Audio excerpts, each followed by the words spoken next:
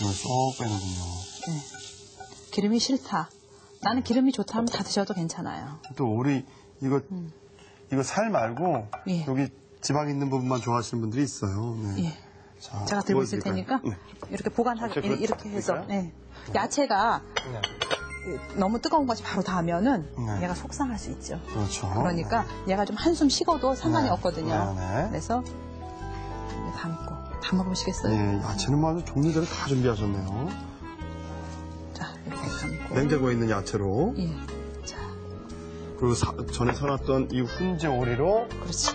포도 저 소스만 청만 만들어 놓으면은 요 이것만 준비하면요 오리가 냉동 냉동실에 이- 있기만 하면 얼- 언제든지 오리가 있을 수 있잖아요. 그럼요, 그럼요, 그럼요. 그러니까 너무 쉽게 손님이 언제든지 와라.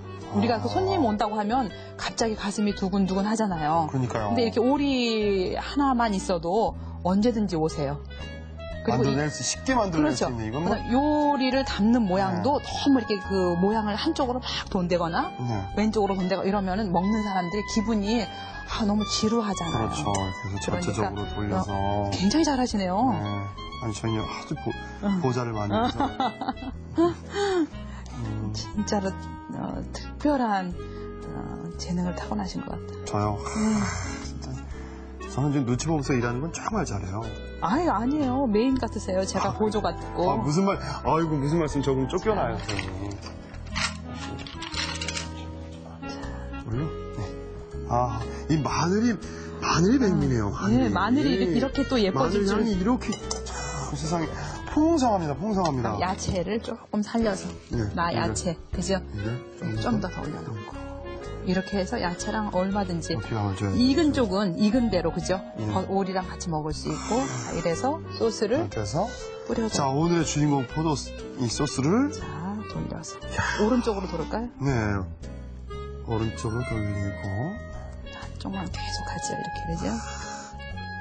너무 여기서 야채 위에 아. 이 소스가 과감하게 뿌려져 버리면 네, 야채가 이 아름다움이 사라지니까 네. 야채는 다 각각 이제 오리도 오리답게 마늘도 마늘답게 소스도 아, 소스답게 많이 뿌려주네요. 예 그래야 충분히. 충분히. 드실 수 있죠 어, 자 이렇게 완성하는 거죠 아, 새롭습니다. 이 정말, 아, 이런, 그, 메뉴는 저 솔직히 처음 접하는데요. 아, 그러세요? 포도 소스로, 음. 어, 야채, 거기다가 훈제 오리로 이렇게 사용해서 샐러드를 만들어 봤습니다. 자, 훈제 오리, 포도 소스 샐러드 완성! 됐습니다! 포도청으로 만든 포도소스 오리 샐러드 잘 만들어 보셨나요? 오늘의 알뜰 요리 살뜰 조리에서는 한 번 만들면 두고두고 먹는 포도청을 간편하게 자주 먹을 수 있는 방법을 소개해 드립니다. 바로 새콤달콤 포도주스. 그럼 재료부터 살펴볼까요? 먼저 발효된 포도청, 탄산음료, 유자청, 얼음, 레몬을 준비해 주세요. 우선 레몬을 꼭 짜서 레몬즙을 만들어 주세요. 그런 다음 믹서에 발효된 포도청, 탄산음료, 레몬즙, 얼음을 넣고 잘 갈아줍니다. 포도는 비타민과 유기산이 풍부해 과일의 여왕으로 불리는데요. 이렇게 포도를 통째로 갈아 주스로 만들어 먹으면 몸에 더욱 좋아요. 이제 잘 갈아진 주스를 컵에 담고 유자청을 얹으면 포도 주스 완성! 이제 돌아오는 포도의 계절에는 새콤달콤하게 포도청을 담가 색다르게 요리에 응용해 보시고요. 건강에 좋은 주스로도 맛있게 이용해 보세요.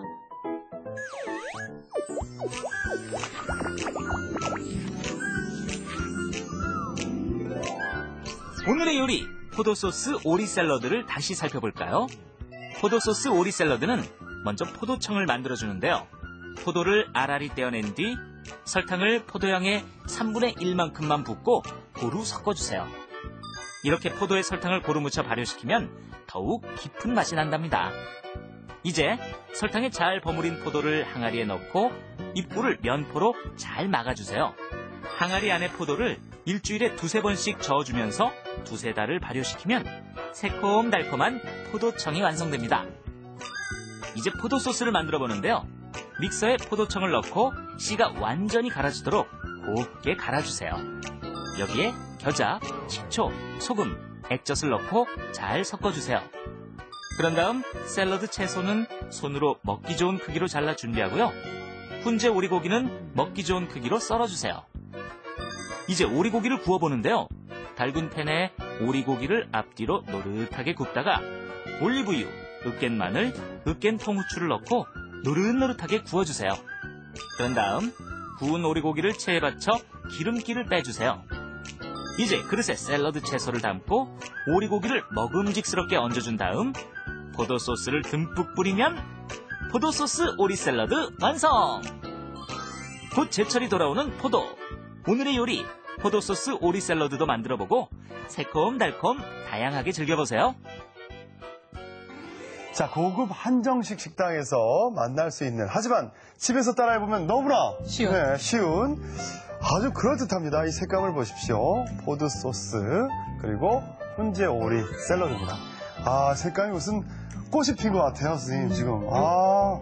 네. 요리는 일단은 굉장히 아름다워야 누구라도 이렇게 손이 가겠죠. 그렇죠, 그렇죠. 네. 보는, 보기에 이렇게 좋은데 맛은 어떨지.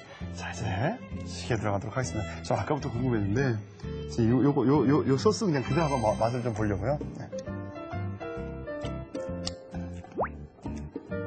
오, 저. 음, 맛있다. 음. 이야, 진짜 진한 맛이 느껴지네요.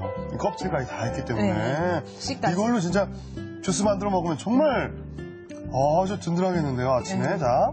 이걸로 그 빵에다가 이렇게 발라서 먹어도 돼요. 이렇게 갈아가지고. 네. 자. 음. 그래서. 자. 자, 맛을 보도록 하겠습니다. 과연. 음, 너무 좋다. 음. 음. 음, 너무 맛있어. 음. 맛있어요? 이거를 먹으면 늙지 않아요. 피부가 늙지를 않는. 어, 세상에. 아니, 전 사실, 사실, 이게 새콤한 맛이잖아요. 그래서, 오리고기하고 잘 어울릴까 그랬는데, 정말 환상의 궁합이네요, 입안에서. 네, 그죠? 이게 마늘 향이, 마늘 향이 듬뿍 마늘하고 고추장이 배어서 잡냄새 없는 오리고기하고, 그리고 야채하고 포도 소스가 이렇게 잘 어울립니다. 음, 소스가 좀 강한 것 같아도 이게 전체가 어우러지면 전혀 강하지 않아요. 그러니까요. 음. 난 분명히 이것만 먹을 때는 솔직히 약간 너무 수가. 시다 생각했거든요. 아 근데 어우러지니까 이렇게 잘 어울리네요. 아 오늘 이 요리 정말 아이들이 막 출출하다고 그랬잖아. 음. 아니면 뭐 손님이 갑자기 오셨을 때 5분. 금방 5분 요리로 음. 내놓을 수 있는 아주 정말 고급 한정 식당에서 만날 수 있는 그런 포도 소스와 훈제 오리 샐러드였습니다. 내일도 우리 김은수 셰프와 함께 고급 한정 식당의 메뉴를 여러분 찾아뵐게요. 내일 뵐게요. 감사합니다. 다음 시간엔 이맘때 먹으면 딱 좋은 두 가지 요리. 쫄깃 담백한 굴비를 얼큰하게 끓인 굴비찌개와 쌉싸래한 맛과 향이 좋은 밥반찬 머위무침 기대 많이 해주세요.